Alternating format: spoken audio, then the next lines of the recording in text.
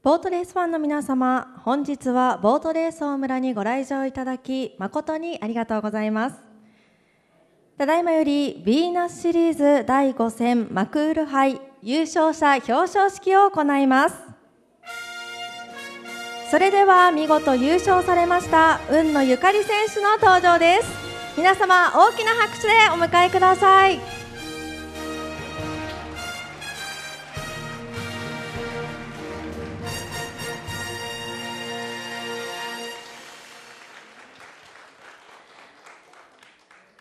それでは表彰に移りたいと思います。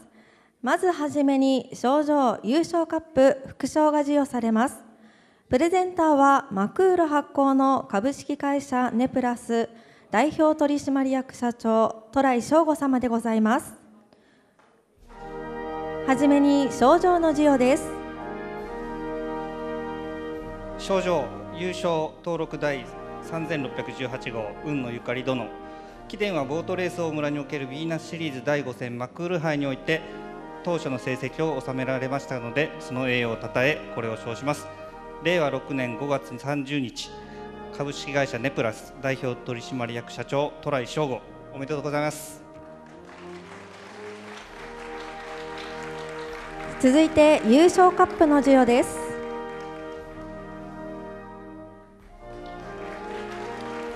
最後に副賞として商品券5万円分が贈られます。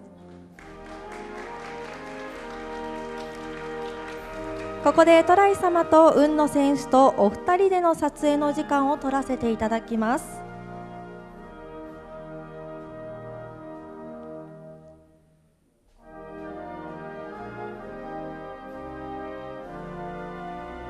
そろそろよろしいでしょうか。トライ様ありがとうございました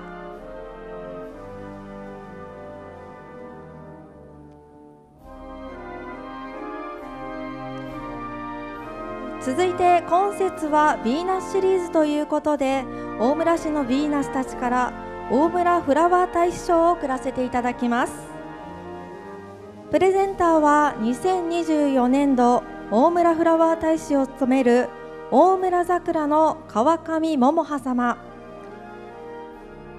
そして花勝負の川崎かなみ様です。はじめに長崎和牛詰め合わせセットの贈呈です。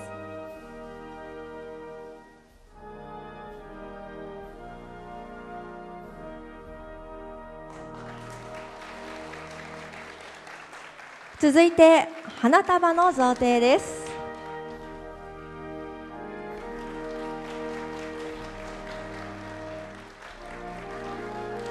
ここでフラワー大使のお二人と運の選手で撮影の時間を取らせていただきます。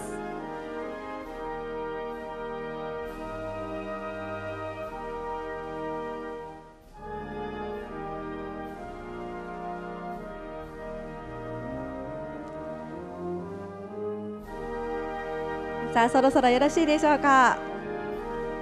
大村フラワー大使のお二人ありがとうございました。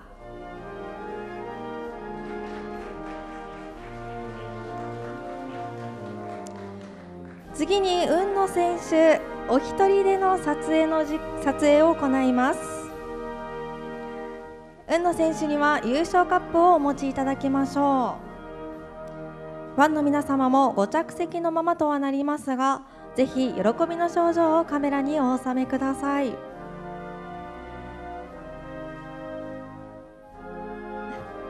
手を振っていただいていますね。さ宇野選手通算64回目今年は初大村では5回目の優勝となりました。宇野選手ありがとうございました。それでは優勝されました雲野選手にお話を伺いたいと思います。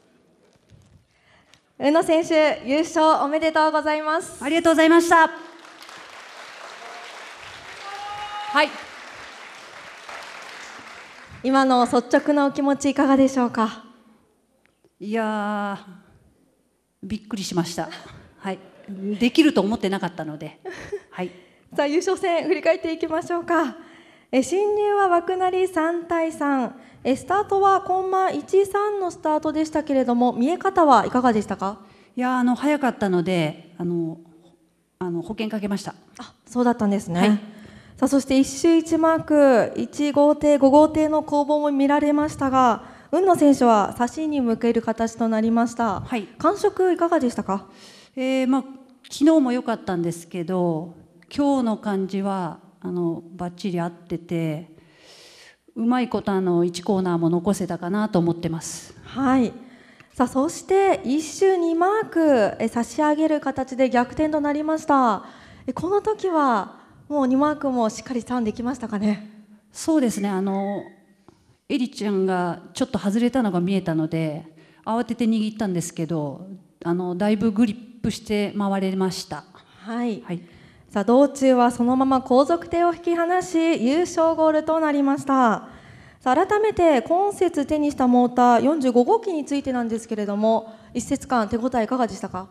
えーまあ、昨日まで平凡だったんですけどあの4日目に安定板がついてあのそこで自分の足があのあこれ間違えてたなっていうのがちょっと気づいてそれで調整できたのが良かったと思います。あの一つ上の中里先輩にもアドバイスいただいたんでそれを煮詰めながらもうちょっと今日やってみたんですけどあのバッチリ合ったと思います。そうだったんですね、はいさあそしてここ大村なんですが約8年7ヶ月ぶりはい。5回目の優勝となりました、はい。えー、当地ナイターは初制覇となったんですけれども相性改めていかがですか？まあ、初優勝もここだったので相性は、まあ、最近はあまり良くなかったんですけどまたこれで好きになりました。ありがとうございます。はいさあそして今年は6段目の優出で初優勝となりましたけれどもリズムなどはご自身の中でどう感じていますか？うん、まああの優勝戦にはたまにちょこちょこっと乗れるんですけど、まあ、レーンに絡むことがほとんどなかったので、まあ、今日はまあ一気に優勝できたんで、えーリズムアップできると思います。はい。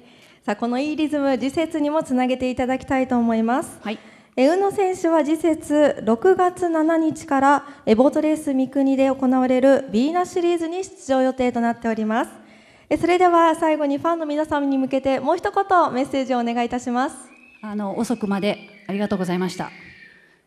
2番が優勝してちょっとがっかりかもしれませんけど、あの一生懸命地道に走ってますので、あの温かいご声援これからもよろしくお願いします。